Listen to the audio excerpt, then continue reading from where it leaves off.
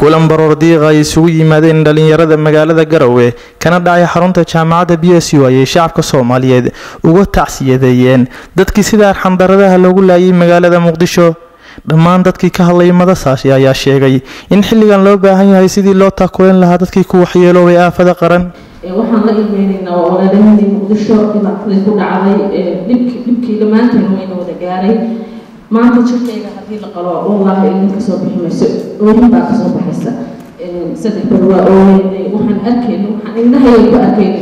Dad la koonfuri waayo waxay yihiin oo tan mara lagu soo xiray lagu tukanaya dhibka weyn wuxuu gaaray waa hooyooyinkii waayo waxaa ku dhintay wadageedii wiilkeedii iyo ilmaheedii.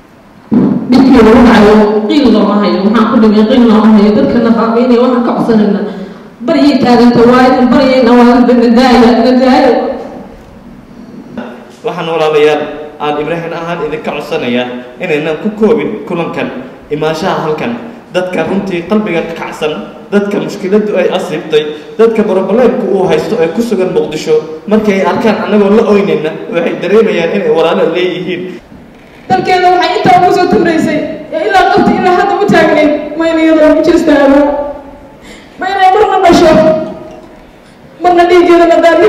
labaatan jir dhasho ooya ayaa intaasoo soddon sannadood ka badan sida ciidamaad ku soo nooleed awlaadeedii markii la baxsatay la baxsatay ee isir dowladdaa ku dhidatay iyo dille cusub ay u bilaabatay marka ay soo idlaatay kulankan baroor diiqda ayaa dhalinyarada waxay xaafadaha magaalada ka aruuriyeen lacag lagu taakuleynaya shacabka soomaaliyeed ee ku sugan magaalada muqdisho ee caasimadda dalka iyagoona qof walba ka qaadayay waxa uu awoodo.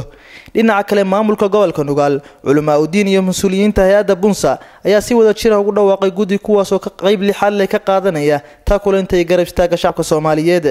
Dadkii aan isleenahay waa dadkiini mudankiisi waxaa ku magacawnay waxaan idiin soo gudbinayaa hadda magacyadooda haddii ilaha idmo sheekh maxamuud xaaji yuusuf guddoomiyaha gurmadka. Faysal axmed warsame guddoomiye ku-xigeen bashiir ismaaciil bashiir siciid ismaaciil xoghayn. Sheekh dalmar guureeye kaarshe xubin. Sheekh cabdirasaaq cali shirwac xubin. Cabdulaahi salaad cali xubin.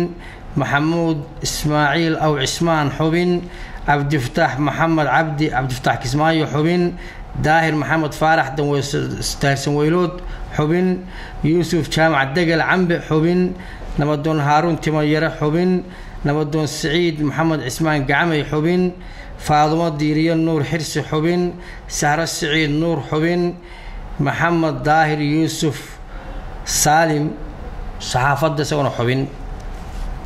Intaasi waa guddigii maanta laga bilaabo oo bishu tahay toddobiyo toban oktoobar laba kun tobanka waxaa u xil saaran inay lacagta ururiyaan guddigaas. Waxaana lacagta lagu shubayaa lambarada kala kala ah. Akoon toddoba iyo afartan konton iyo afar sagaashan iyo shan. Waa ku celinayaa afartan iyo toddoba konton iyo afar sagaashan iyo shan telefoon furuhu waa lix afartan iyo toddoba toddoba eber eber eber saddex eber. Sheekh maxamuud xaaji yuusuf oo ah guddoomiyaha guddiga iyo faysal axmed warsame guddoomiyaha hay'adda bunsa ayaa shacabka reer puntland gaar ahaan kuwa ku nool garowe ka codsaday inay garab istaagaan walaalahood soomaaliyeed. Ee waxyeeladu ka soo gaartay qaraxii magaalada muqdisho.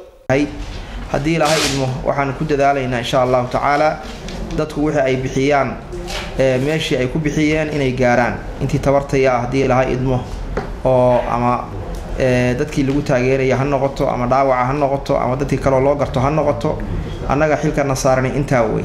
Dhammaan waxaan kaga baahanya agoonta inaan gurmano inaan dadka dhaawac ah oo bokoo jeef tarno.